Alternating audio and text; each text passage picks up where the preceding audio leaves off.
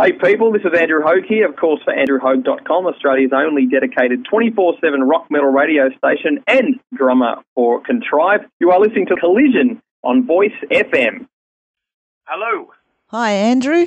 It's Hey, Cat. Cat, how you doing? I'm good. How are you? Not too bad. Just dealing with this shitty cold uh, Melbourne weather that doesn't seem to be ending anytime soon. Oh, isn't the sun out there today? Oh, yeah, but it doesn't really cut through on a warmer sense compared to other states, but that's just the way it rolls. Yeah. So, well, the album was released on the 1st of September, so it's been out 20 days now. How's everything been going since the actual release of Slow Dissolve? Oh, it's just been a huge, uh, I guess, sigh of relief. I mean, it's something we didn't think we'd ever get finished. I mean, you know, tragedy struck midway through the recording of the album in 2015 when Paul and I lost our dad suddenly, and anything like that's going to completely turn your world upside down. It completely changes your family dynamic forever, and no one's taught that kind of feeling and emotion at all. So Paul and I, we just froze. Like, what the hell do you do? And uh, yeah, we weren't just sure. It was probably the furthest thing from our minds trying to get the album finished and stuff because you're just dealing with one of the worst things you ever get to deal with in your life. And um, yeah, we just put it on, on pause indefinitely, and and uh, slowly but surely, you know, we always know that Dad encouraged us to, to follow what we love doing, and that's when we said, all right, let's let's just try and pick up the pieces and see if we can get this thing done. And then during that time, we noticed Tim, our bassist, had kind of moved back a bit from you know his commitments to the band, which we understood because you know he's got a young family now, and we all know that that changes a lot of things too for certain, I guess, things you in, you know you, you you were once doing. It just takes a different priority, and we sort of had a chat with him and sort of said, you know, I think we're getting in the way of of your sort of new beginnings with your life, and he sort of said, well, I feel like I'm getting in the way of this for us, and it was kind of a win-win lose-lose. You know, we get to continue doing the band stuff, and Tim continues to spend time with his family and and start his sort of new life. So that's when we ended up. Um, deciding to end up being a two-piece. So a lot of things happened, I guess, in the last two years leading up to finally getting the album done. And yeah, like I said, it's just a huge sigh of relief that it's it's finished, it's out there, and surprisingly, the reviews have been overwhelmingly good. We're kind of used to having a bit of a, a jab from from many of the media over the years of our career. It's just not everyone gets it or digs it or whatnot. So we were kind of prepared for that. As soon as the first review come in, it's like, all right, what, what are we going to cop this time? Because we're just kind of used to that, you know. Mm. And you sort of read the first one, you're like, wow, that was really cool. And then the next review comes in, wow, that's just amazing. Like, wow, people are, are getting this. It's it's a shock in a lot of ways for us, but uh, we're obviously rapt about it. I mean, it's nice when someone likes what you do as much as you like it yourself. But uh, yeah, to sort of end the rant here, it's definitely a sigh of relief that the album's out, and um, now the hard work starts to let people know more about it, start doing more shows and, and things like that. Yeah, well, I do want to actually ask when you lost your bass player, there was no consideration about finding another bass player? Uh, well, I had to chat with Paul about it. Like he, you know, as soon as Tim sort of said, "Yeah, it's it's, it's getting harder," you know, and we sort of said we can tell. Paul and I sort of sat down and said, oh, you know, who are we going to get? And we thought, great, we're going to go through the whole who's available. Do we find someone that's in another band that's done it before? Or do you find a younger player that's hungry, but then their ego's going to be off the charts? And then there's so many factors to consider when you're playing a band with people. You've got to work around life schedules because obviously it's not a full time thing. And then there's personality, then there's, you know, performance abilities, uh, organization, uh, good gear as well. I mean, there's so many factors, and Paul and I are pretty fickle in so many areas of, of, of running this, this band slash business. Uh, you really got to find the right fit. I mean, there's some amazing players out there, but some of them are just really average people in, in the personality sense, and you really got to make sure that it's going to work or it won't. I know dozens of people are playing bands who hate each other, but they still do it, and I Mm. can't imagine doing something like that because eventually something's going to give. And so I said to Paul, obviously we've been running sort of backing track stuff for the last couple of years anyway on our previous releases with keyboards. I've been triggering samples as well. And I just thought music's changed so much the last bunch of years that uh, I think it's become so open to try anything. I mean, I, I saw a one-piece death metal band uh, a couple of months back, I think on the Black Dahlia to a Putrid Pile. There was just this guy from America just playing to an iPod, and it was just ridiculous, but so cool at the same time. but people were into it. No one was up the back going, "Oh, he needs a drummer, he needs a bass player." People were happy just to see it, and they saw something different. And I figured that, well, there's, you know, people that just want to see good music, whether it's done by one person or a 10 piece band. And I said to Paul, why don't we just do the two piece thing? You know, we'll run Tim's bass tracks. They're all, that's still his work, it's still his live playing. You know, let, let's try something different. We're twins. There's not many two piece sort of metal bands that have twin brothers in the group that are just a two piece. And I thought, you know, there's a different angle here as well. And instead of, you know, me sitting up the back on the kit and Paul up the front, let's play side by side and really have a different visual aspect to it because I think today, as I mentioned, music's changed so much in, in so many different levels. Uh, you know, you got to be smart about it and, and also uh, strategic and, and it's also a visual too. So I said to Paul, let's just give it a go. And he was like, okay. So first we sort of started, you know, figuring out the technical aspects of how it's all going to work because we don't use a laptop live and um, I sort of jumped into that technical uh, rabbit hole and sort of went through all that sort of stuff of figuring out gear and what, what would work and create the less problems because I hear a lot of bands who use a lot of technical gear live and can have complete disaster moments and things like that. And um, luckily, we haven't really had any problems at all. Uh, so yeah, he sort of was happy to run with it. And now it just feels so normal. I can't. No disrespect to Tim, of course, because he's still technically heard live. He's just not there on stage or anything like that. But it, I just think I can't imagine having another member in the band. I think it just it works for us. I mean, mm. I haven't really had many people come up now because we did our first live show a couple of weeks back. Uh, have said, "Oh, you know, you need a bass player." People just said, "Man, it sounded great. It looks great." I get the two piece thing, and that's really cool to hear. So for us, yeah, there wasn't there was a brief consideration of who do we get, and then I just went nah. so mm. it's kind of worked out so far, and and like I said, uh, I think people are accepting of all forms of different types of bands today. Yeah. And I was going to say about the album too and the reaction you've been getting. It is it's unexpected. It's like you think you're putting a heavy metal album on, but this album is just so many different aspects and layers to it. And like even like the human game, that song is amazing. It it's just so different. What were you thinking when you were putting this album together? What was the concept going on in your head?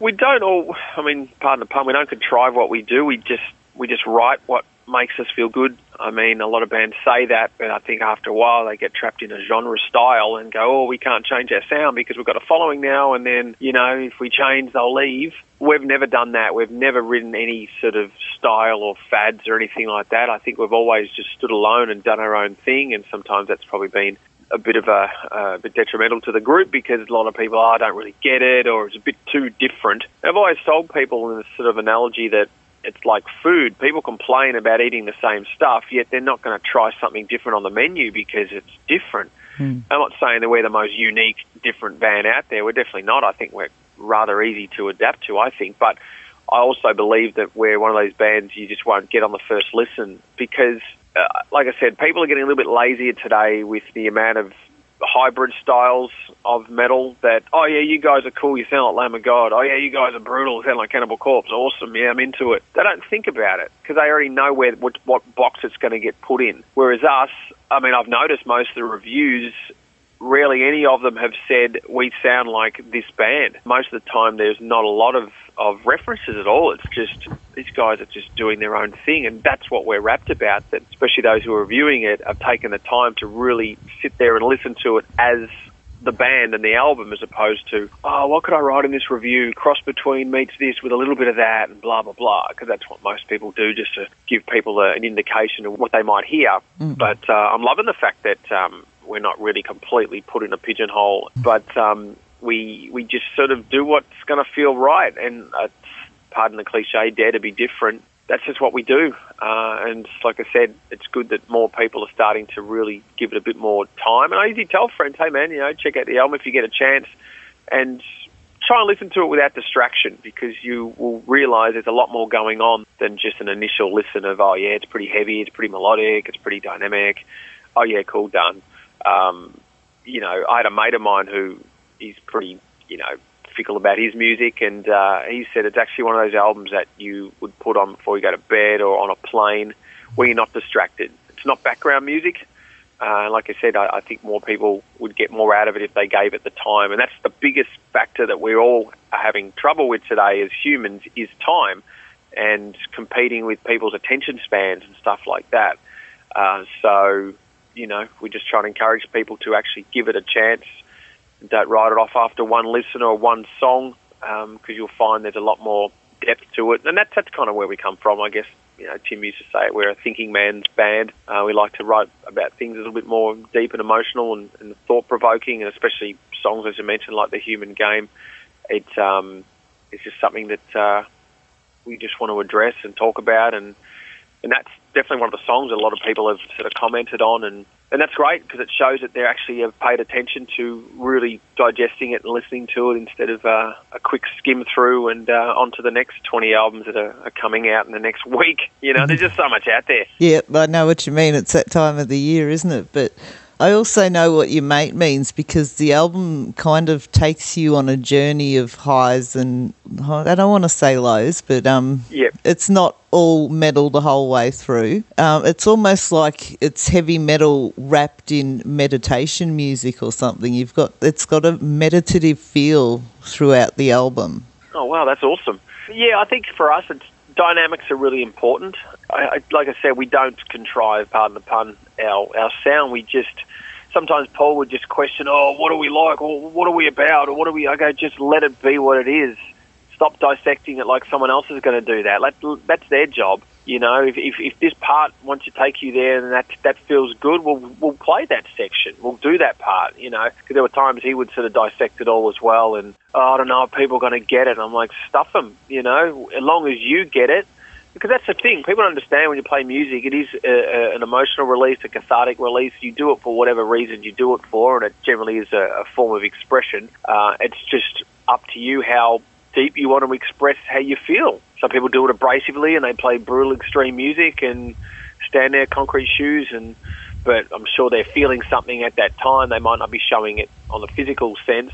Whereas you get the player to jump around, and that's their release, you know. Afterwards, they're like, "Yeah, that was full on. You know, they're letting their emotions out that way.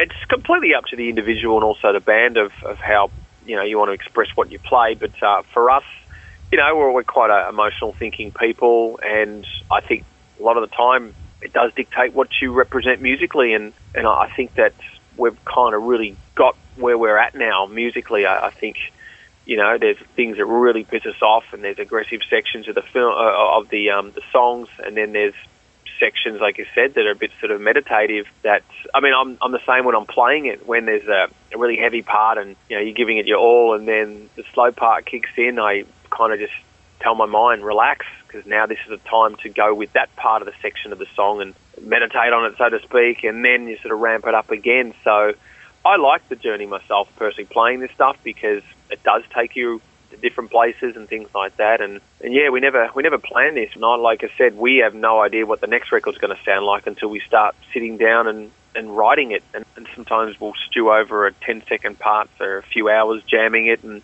until you get it right. And and um, yeah, we're definitely going to be one of these bands that takes our time, but not like Tool. We're going to try and put out another record a little bit sooner than later. You know, don't want to take as long as this.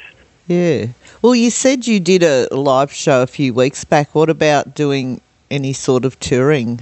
Yeah, well, that's the plan. I mean, that live show, that was more of a celebration. Like I said, it's taken a, a lot of, uh, you know, mental energy and emotion to sort of get back to where we belong and back to playing and putting the album out. So Paul and I decided let's just book a, a sort of a celebratory gig, just us, no, no other bands, just a local venue, the Workers Club, really good place in Fitzroy. And we decided, you know, all right, let's just invite a bunch of friends and whoever else might be interested, and we're just going to play the whole album in full, which is what we do now in rehearsal. We just play it from start to finish. I think we, I think the album flows really well uh, in its order, and then after the gig, we'll just play the album over the PA while people can have a few drinks on us and uh, hang out. And it was great. The event was really cool. It was nerve wracking. We hadn't played live for over three years. Plus, the first sort of official live show was a two piece. It was like, wow, well, how's it going to go? All these sort of things come into play when it comes to doing something you haven't done for a while, and the live feeling is kind of a feeling you don't get used to when you don't do it all the time. So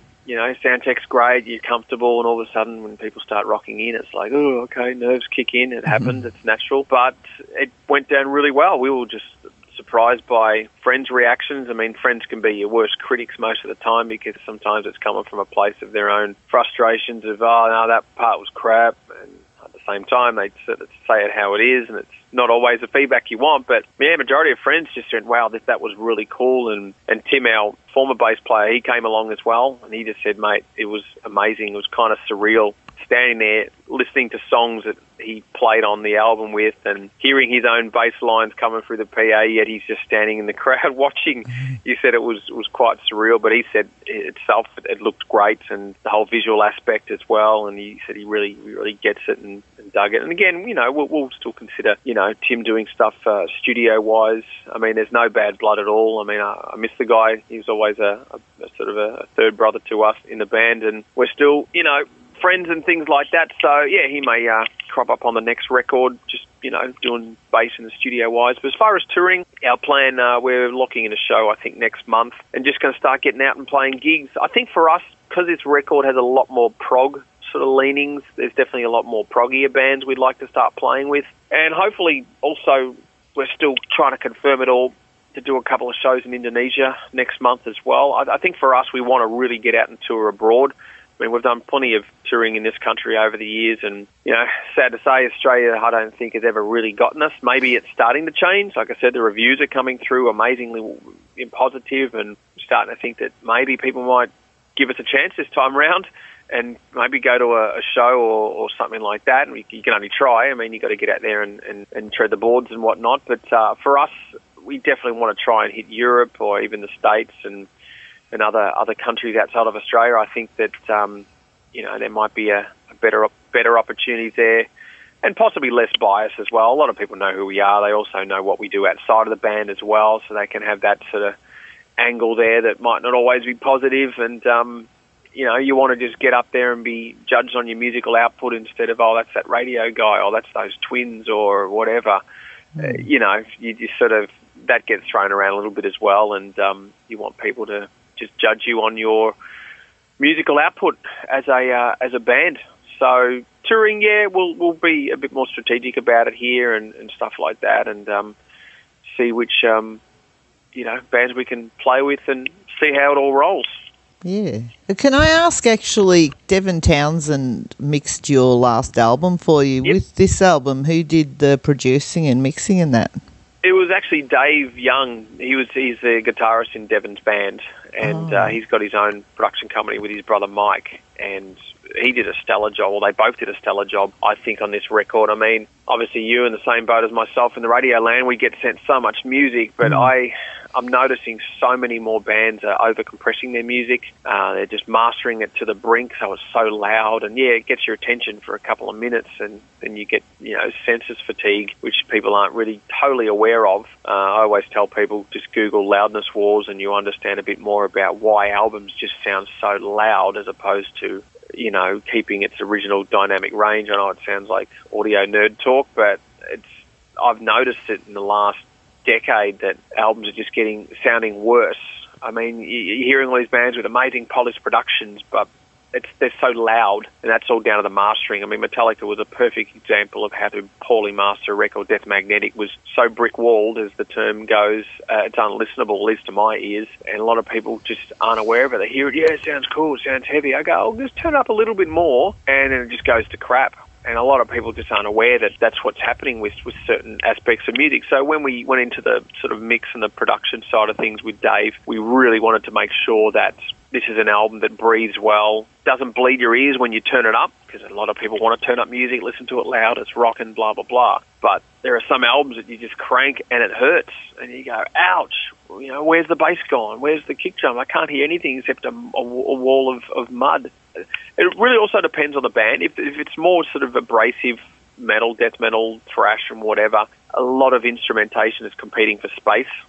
So if guitars aren't loud enough, then the drums are going to come up, and then oh, hang on, the vocals aren't loud enough. Let's pump that up, and that's the competition that's happening in as they call it the loudness wars. They're trying to compete for sort of headroom within the, the, the mix itself, and because our songs, like I said, have a lot of dynamic up and down, we really told Dave, you know, we want it to be a, a really nice, comfortable listen uh, where you can crank it and the parts that are calm sound amazing and the heavy parts that kick in still sound great instead of, oh, it's bleeding in my ears a bit. I know I'm sounding like a bit of an audio nerd here, but um, it's something that uh, we were really mindful of going into this and also the mastering we did it as well. And Dave and, and Mike totally got that, so that, that really helped because for us, we're listeners too, even though we've played on the album, we want to listen back to it and just go, wow, that was a really good album. It sounds great. There's nothing wrong with indulging in your own art, but you don't want to listen back and go, oh, yeah, we kind of got it wrong then.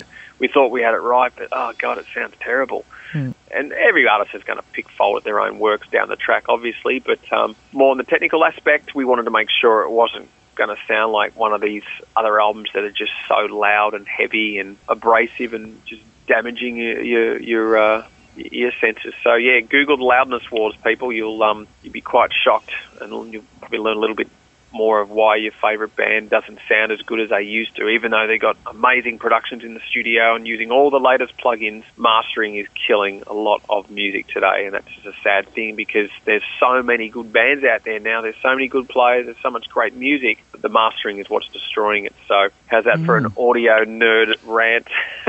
Uh, can I ask quickly, do you have a favourite track on the album? It's a good question. Um, wow, those are good songs. Jeez, I just I enjoy playing them all because, like I said, it's kind of a, a journey in so many ways. I think probably below the line or slow dissolve. I'm liking a lot more. Uh, God, what else? Human Game. I don't know. There's there's not one on the album where it's like, oh, this part, oh, this song. You kind of just get into it. I don't know. I love Your Owned as well. The faster songs are the harder ones for me because you try and play with intensity when you play fast. The faster you play, the lighter you got to play because it's hard to hit at a consistent pace or power and, and keep up the tempo. So those the sort of faster songs are like, all right, let's just you know slam it and try and maintain the dynamic and the power that, that's output. Um, Connect Dead I like as well. The message is really, really prominent for us. The video clip was pretty interesting and fun to make as well. I'll let you choose, to be honest, because I'm sure you've got a couple of uh, good ones you like. But oh, I'm, I mean, I don't. I, th- I think it's all killer, no filler. I mean, ask me in six months, I might just go, yeah, I'm kind of over that song. But right now, I, I just dig them all because I think they're all completely different from each other, and that's kind of how we've always written songs, not sort of replicating track one. It's going to sound like track four uh, at all. Uh, so yeah, that's a hard one to pick, to be honest. Well, it is actually because there's so many different styles of track on the album. And as far as you having a favourite, if you're going to be playing these tracks and that live, then it should be an evolving thing that your favourites change as you go along. Yeah, absolutely. Yeah. Is there something you'd like to say to your fans to get them to go and check out the album Slow Dissolve? Well, if they're fans already, they hopefully would have checked it out by now. But if not, well, yeah, just uh, you're after something a little bit different, if you're a little bit bored of, of what you're sort of listening to, and that's that does happen. There's so much music out there, and you're you're after something that has a little bit more scope and depth and and uh, a unique sound about it. Just yeah, check out the new record, Slow Dissolve. Just go to contrive.com.au and all the uh, info's there and where you can listen to it. It's all on normal digital platforms. We're also pressed up some limited physical copies as well that we can uh, post on out. And yeah, but just an album that will um, you know, you, you you might not get in the first listen or the second. And I always believe that those kind of albums are the ones that stay with you the longest.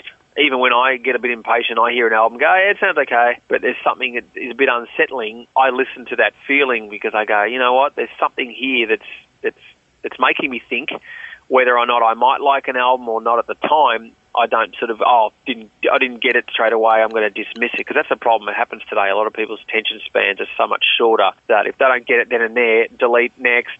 They don't have patience, and that's the problem with I think society. There's that you know, hence the the lyrics of some of these songs on the album, the immediate age. Everyone wants everything now, and if they don't get it, they go to the next thing. Impatience. We're all guilty of it because we've got so much information coming at us, so many options, and uh, if it doesn't work next, if, if you know an app's not loading, delete. People just don't have patience, and we're all guilty of it. You know, I'm the same, working in the computer age for years, and bang, something doesn't work. Damn, reboot. Uh, just you know, come back to it because it's that whole next, next, keep your own momentum going of trying to fit in more stuff. But I think for us, we're one of those bands. I think that. Uh, you know, give it time, uh, and I think you'll you'll be well rewarded with uh, really good music that's honest and integral, and and hopefully that uh, will be an album that will sort of stick with you for a while until the next one comes out. So how's that for the hard sell? Yeah, no, awesome. I was going to say to people too to go and check you out at contrive.com.au, and as you said, everything's there if they want to find the video and how to buy the music and that. And on Facebook, you are Contrive Official on Facebook, definitely. Yep. And um, no, it is. I think actually this album is going to have a bigger impact than you realise. I think this is quite a special album, actually. Yeah, we hope so. I mean, it's still early days, obviously, because we've got to start getting out there and letting people know about it. Because, as we mentioned, attention spans are a lot quicker. An album can come out and be forgotten in two weeks if you don't sort of build a momentum. People just move forward because there's about 50 other bands trying to compete with your mind space as well. And it doesn't matter how good your album is, if you haven't got someone's attention at a certain time, they've moved on to something else.